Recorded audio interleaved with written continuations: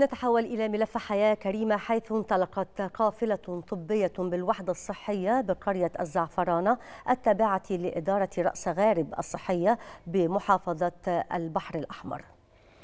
وذلك ضمن مبادرة الرئاسية حياة كريمة وقال وكيل وزارة الصحة بالبحر الأحمر إسماعيل العربي قال إن القافلة قامت بتوقيع الكشف وصرف العلاج لما يقرب من 114 حالة بمختلف التخصصات الطبية.